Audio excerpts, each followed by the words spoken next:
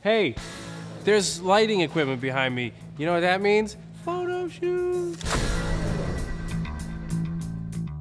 This photo shoot is a little different than last year's photo shoot. It talks about the show in an odd way.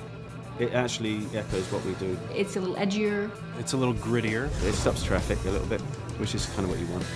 It seems to have a lot to do with the character, which is how he goes. Sometimes he's like a bull in a china shop. You know, it's a much more aggressive campaign. It's a much more offbeat campaign this year, using the sort of the boxing analogy and the sledgehammer coming through glass.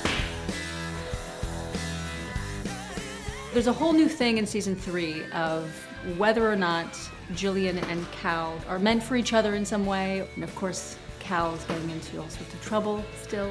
Sometimes I'm just so over it. But maybe, who knows, Gillian might get into some trouble of her own, so we'll see. We're about to go take some photos where we're boxing each other, and I know this season you're gonna see a little tension and all the relationships around the Lightman group. I think it expresses that in these pictures.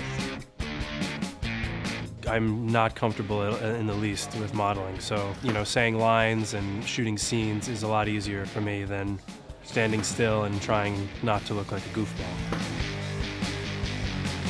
Now that it's season three, we know these characters. We know what this show is. We know what we're saying to the audience, and it's gonna be a rock and roll gritty season. I can't wait to see it.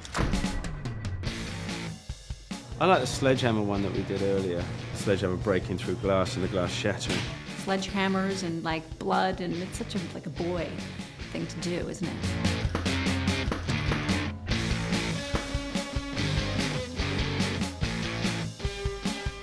Well, it looks like it's going really well, but it has been a long day. Monica Raymund's down there getting a little windblown. All right, guys, that's it for our season three publicity shoot. Thanks for hanging out. Watch Lie to Me.